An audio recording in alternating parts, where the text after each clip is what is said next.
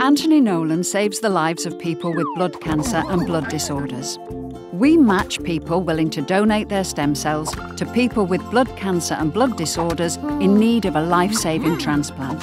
But what are blood disorders and how do they happen? Your blood is very important for keeping you fit and healthy. It's made up of different types of cells, including red blood cells for carrying oxygen, platelets to help blood clot, and white blood cells that fight infections.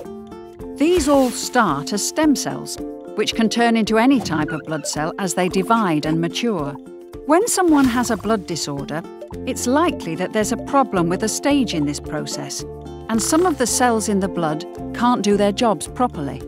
With blood disorders, many of these problems occur because of a faulty gene that was inherited at birth. However, others can occur without an obvious reason. There are lots of different blood disorders, and they are treated in different ways depending on their type and severity.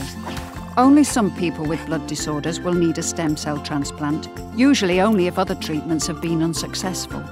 If you'd like more information or support, the Anthony Nolan Patient Services team is here for you. Visit anthonynolan.org forward slash patients.